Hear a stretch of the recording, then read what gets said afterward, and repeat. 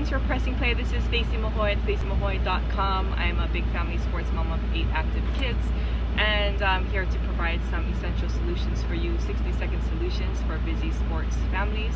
I know for softball players, and this is kind of, I grew up as a softball player and I coached and I had softball, um, I'm a softball parent too. So I know a common area of concern for pitchers and catchers are knees and shoulders. And so today that's what this 60 second essential, essential solution is for. Basically for those areas of concern, I got this tip from another softball mom actually, her daughter is a catcher. Um, the go-to oil is a fir oil. So Siberian fir is excellent for that. It comes from trees, right? So they're strong, um, nice, strong, straight trees. And so our bones, that's kind of like it's makes sense that it's good for nice, strong, healthy bones.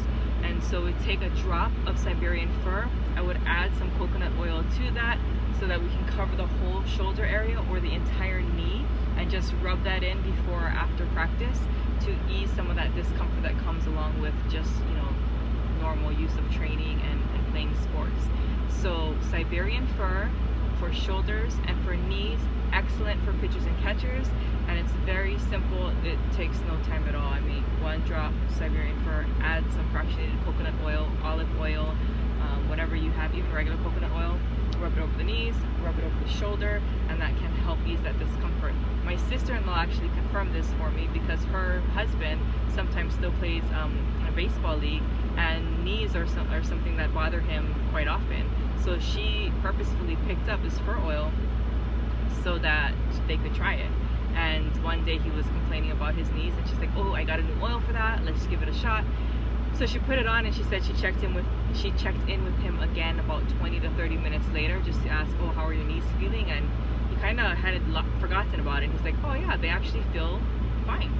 So um, that was a win for them and that was like oh it really does work what this mom shared with me also worked for someone in my family too. So Siberian fir for shoulders and knees, giving them a little extra TLC, especially great for pitchers and catchers who tend to demand a lot from those areas of the body.